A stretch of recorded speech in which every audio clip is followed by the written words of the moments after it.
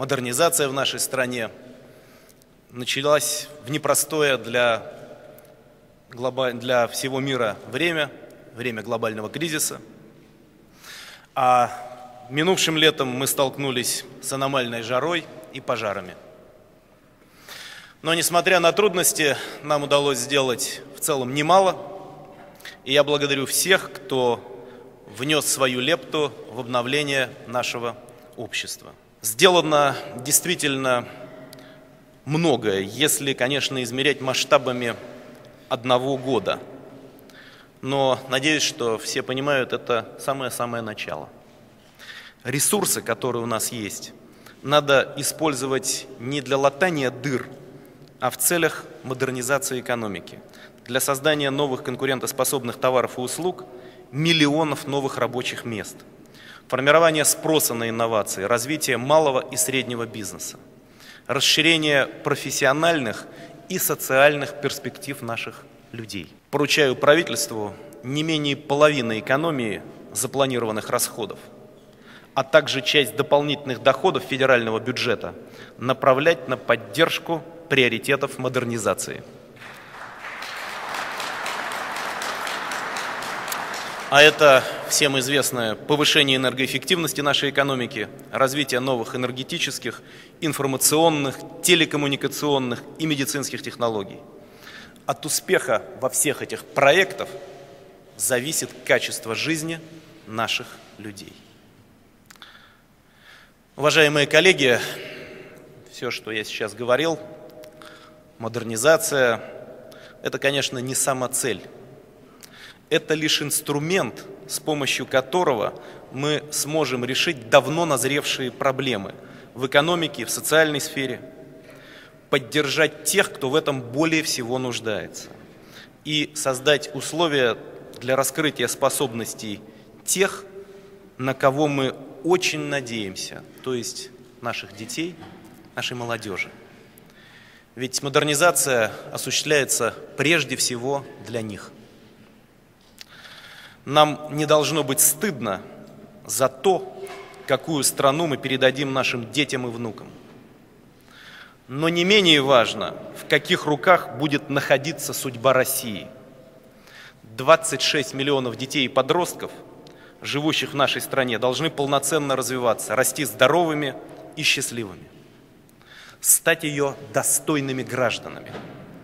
Это задача номер один для всех нас общество, в котором на деле защищают права ребенка и уважают его личное достоинство, не только добрее и человечнее, это общество быстрее и лучше развиваются. Мы должны повысить доступность и качество медицинской, а также социальной помощи матерям и детям, развивать программу родового сертификата и систему восстановительного лечения для детей первых трех, трех лет жизни, новорожденных с низкой массой тела.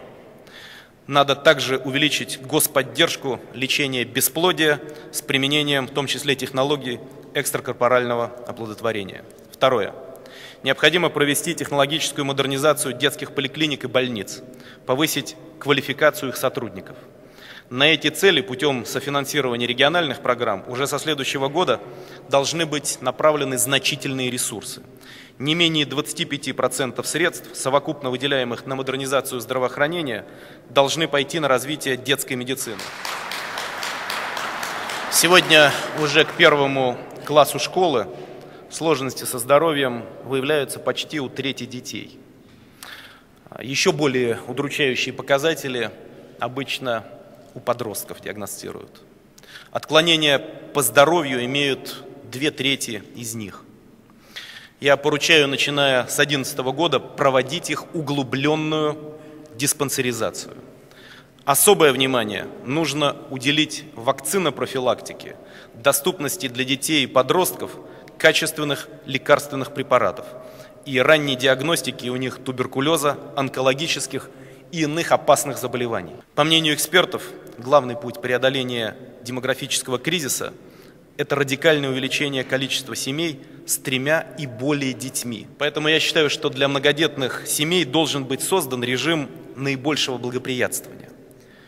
В некоторых регионах, например, насколько я знаю, в Ивановской области, при рождении третьего ребенка решили бесплатно выделять земельный участок под строительство жилого дома или дачи. Это очень правильная мера и пример в то же время для других территорий. Считаю целесообразным сделать эту практику повсеместной.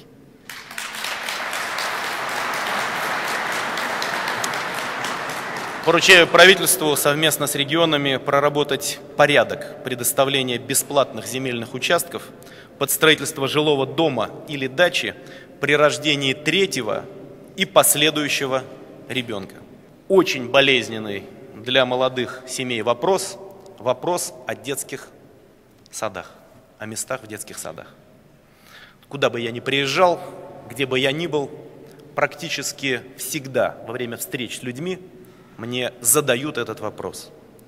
На начало года в очереди в детские сады стояло 1 миллион 684 тысячи детей. В этом контексте поручаю сделать следующее. Во-первых, во всех регионах реализовать программы реконструкции старых и строительства новых детских садов, отвечающих современным требованиям, или предоставить под них соответствующие помещения. Поистине страшная проблема насилия в отношении детей. По официальным данным МВД, в 2009 году от преступных посягательств пострадали более 100 тысяч детей и подростков. Только вдумайтесь в эту цифру. Многие факты просто переворачивают душу. Детей, чаще всего сирот, детей из неблагополучных семей, вовлекают в наркоманию, проституцию, в другие криминальные сферы – Мерзавцев, которые этим занимаются, нужно наказывать самым суровым образом.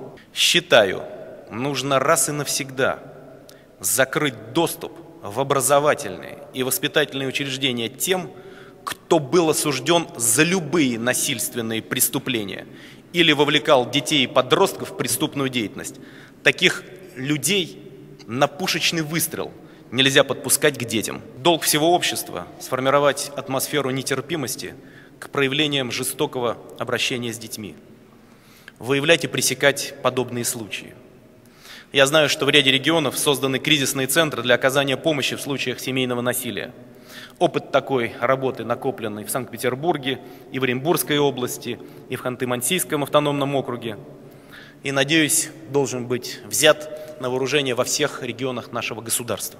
Завершая тему, подчеркну, детство и юность – это тот период в жизни человека, когда определяется его будущее. То самое время, когда каждый впервые пробует для себя что-то, открывает, экспериментирует и ничего не боится. Дух новаторства, желание что-либо делать новое, дерзость мысли – все это сегодня очень нужно нашей стране.